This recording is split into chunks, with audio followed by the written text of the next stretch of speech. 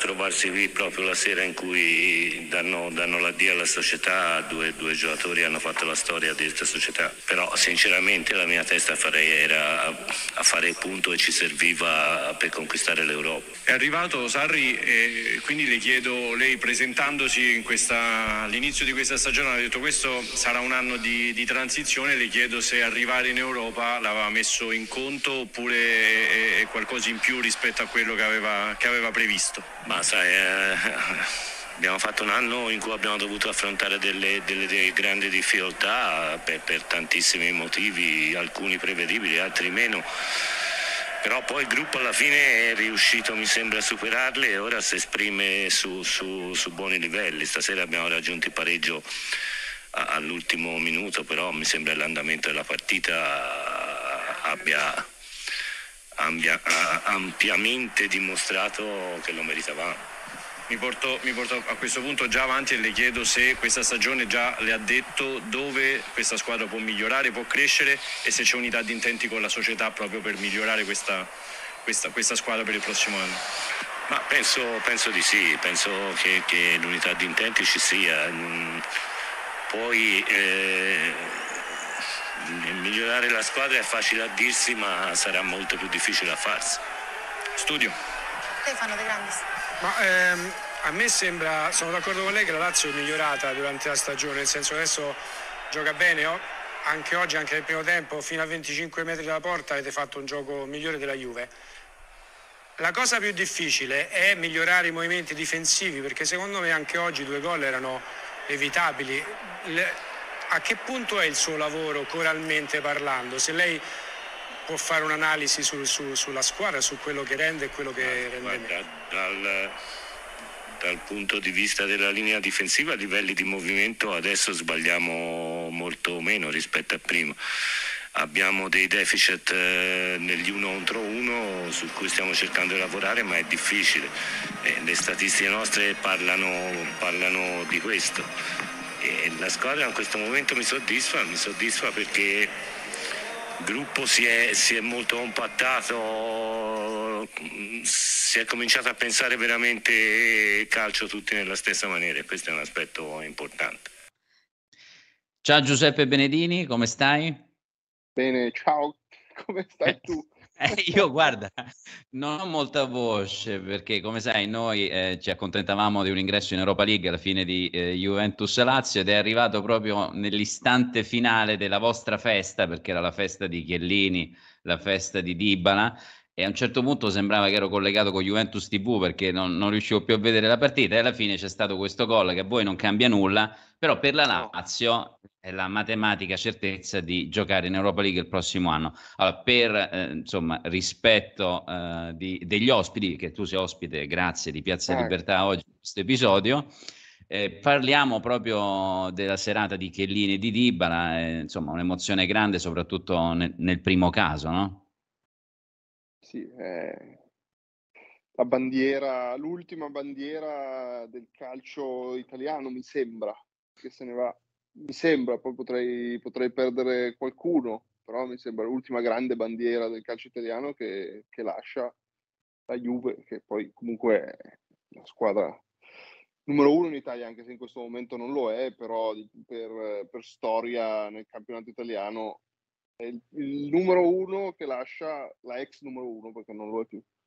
Ecco, la la partenza anzi la fine di un ciclo forse, ehm, si si legge proprio nell'addio di di Chiellini, in una serata incredibile perché c'era una un'atmosfera veramente straordinaria e questo è un grande omaggio appunto a Chiellini. C'era anche l'addio di Dybala, è stato forse un anche un pochino più commovente perché Chiellini ha lasciato col sorriso, Dybala invece era molto, molto affranto.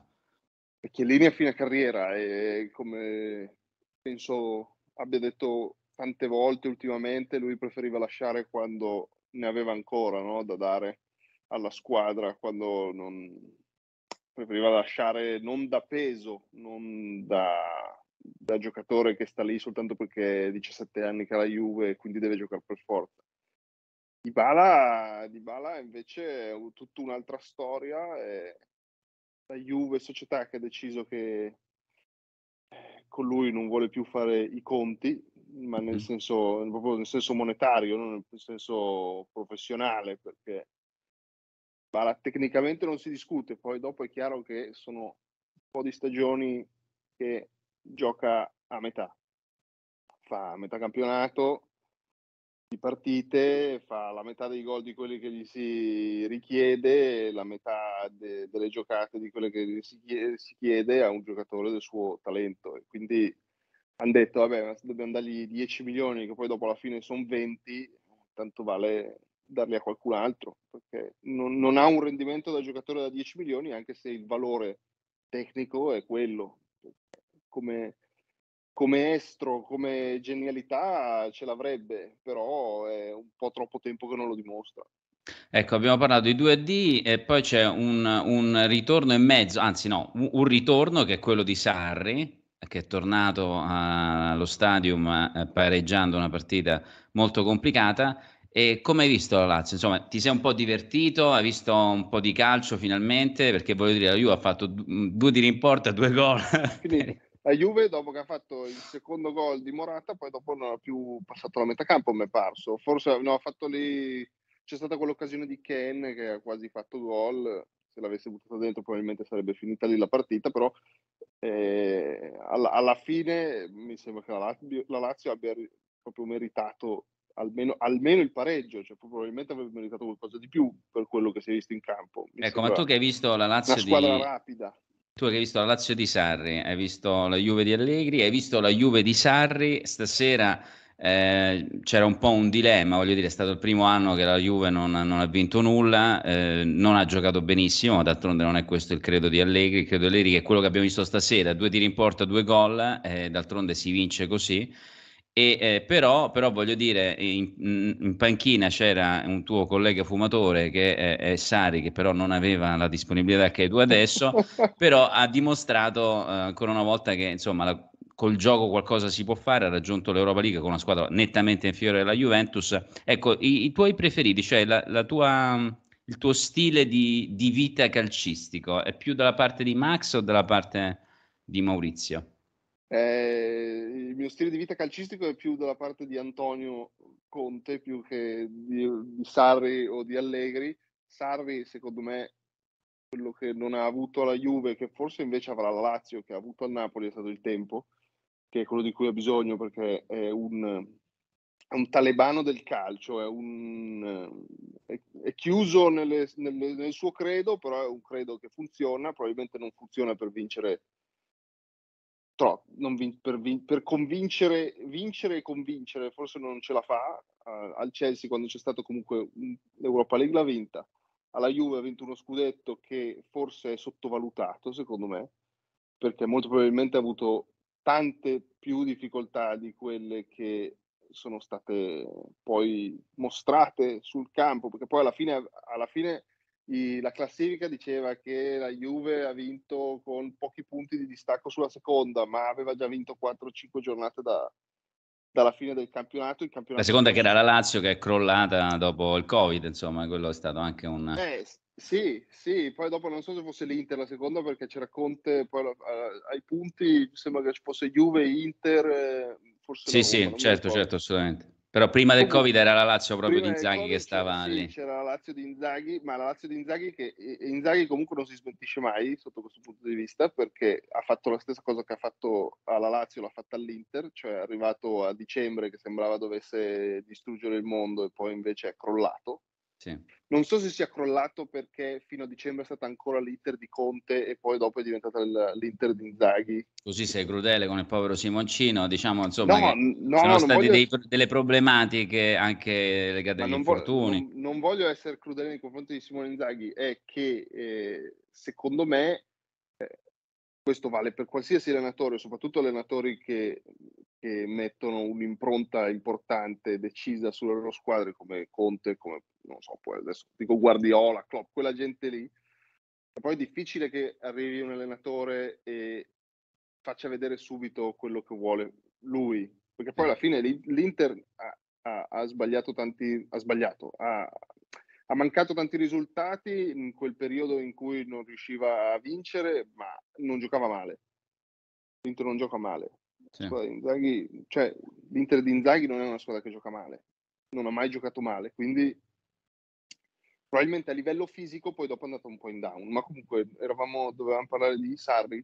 Sì, dobbiamo parlare di Sarri, ma è evidente che tu sei legato molto a, al, al, gioco quasi pratico. Eh, no, quindi... però Sarri probabilmente avrebbe avuto bisogno di un po' più tempo la Juve, però forse lui stesso non lo voleva. Allegri invece ha bisogno di giocatori più forti, ha bisogno di, di, gente, di gente con, eh, con, più attributi, nel senso che lui è, secondo me lascia molta libertà a, ai suoi calciatori. Infatti, quando era al Milan, eh, che c'erano ancora tanti grandi campioni, cioè, le partite poteva anche, lui poteva anche non andare in panchina, le vincevano loro. Lui, Senti, il, ma la sua filosofia è la difesa. È destino che vi ha segnato all'ultimo minuto Milinkovic? Perché parlavo di un mezzo ritorno, potrebbe no. essere un giocatore. Ma io lo vedo veramente duro, cioè, ah. non, quanto, quanto, vuole lo Tito per me? Ah, non lo so, ora lo chiamiamo, però sicuramente eh, si parte da una base di 70 milioni, ecco, 60 eh, la Juve milioni. Ha, ha, già, ha, già, speso 70 milioni per Vlaovic. Il vero è che la Juve fa, in una società per azione fa i bilanci annuali, no? Quindi sì. potrebbe far rientrare, sicuramente la, l'acquisto di Vlaovic rientra nel, nel bilancio precedente, certo. precedente, però la vedo, la vedo un po' improbabile che che la Juve prenda anche Milinkovic. Non lo so, non lo so. Tanto in, in tribuna c'era Leao, c'era Leao, ma Leao è andato a vedere il suo amico Cabral, perché se non sbaglio hanno giocato insieme con in, in, i due.